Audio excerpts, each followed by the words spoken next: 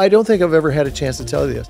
I've always thought you have wonderful comedic timing. Oh, thank you. Where do you think that comes from? Because that's hard to teach and to be thrown into a sitcom and just have that at 11 years old. Yeah. Where does that come from? Well, that role was just- like so perfect for me because she was so biting and, you know, just always being set up by somebody to Yeah. come in and do something, you know, deplorable or irritating. And so I feel like, you know, that's inherently in me.